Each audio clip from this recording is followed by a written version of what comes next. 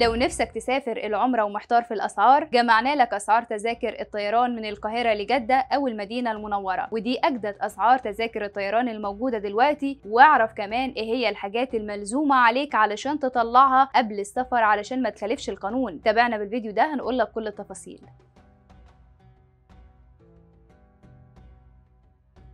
ناس كتير بتسأل عن أسعار تذاكر الطيران خصوصا بعد ارتفاع سعر الدولار وتكاليف السفر في العموم جليت جدا. أعلنت كمان شركة الخطوط الجوية السعودية عن أسعار الطيران. أكدت كمان على شركات السياحة أنها تعدل أسعار العمرة بعد تغييرات سعر الدولار وأسعار السوق وده علشان ما تحطش حساباتك على الأسعار القديمة وتتفاجئ وقت الدفع. والأسعار لو هتسافر من القاهرة هتبقى مدة الرحلة ساعتين وسعرها 4788 أما لو هتسافر من القاهرة لجدة هتبقى سعرها 4850 وده ذهاب وعودة. ممكن كمان تحجزها بكرة أو تسافر للدمام بتذكرة ذهاب وعودة بسعر 4919 لكن السعر هيبقى أغلى لو سافرت من القاهرة للقسيم وهيوصل سعرها كمان أو سعر التذكرة ل 5388 أما لو أنت مش من القاهرة وحابب تسافر من مطار شرم الشيخ رحلة مباشرة مدتها حوالي 8 ساعات هتدفع تذكرة ب 8715 هتاخد برضو رحلة مدتها 8 ساعات لو سافرت من سوهاج لمدينتين وسعر التذكرة هيبدأ من 12300 أغلى سعر من التذكرة بتوصل له لو سافرت من مطار الإسكندرية برحلة مدتها 12 ساعة وسعرها هيبدأ من 16612 لكن برضو تقدر تحجز تأشيرة العمرة من المنصات وهتسدد حوالي 4500 ومعاه كمان هتحجز مجموعة خدمات وكل خدمة بتزود عليها سعر زيادة. فمثلا الحد الأدنى لحجز ليلة واحدة بطريقة اقتصادية بسرير في فندق بعيد عن الحرم بحوالي 4 كيلو وأوضة بتكفي أربع أفراد 150 ريال. الليلة كمان في فندق قدام الحرم 1000 ريال بالإضافة كمان للرسوم المصرية. لكن أهم حاجة إنك تاخد الباركود من بوابة العمرة المصرية علشان يقدروا يوصلوا للبيانات بسهولة البيانات بتاعتك وأنت كمان تقدر تاخد تأشيرة العمرة وأداء المناسك.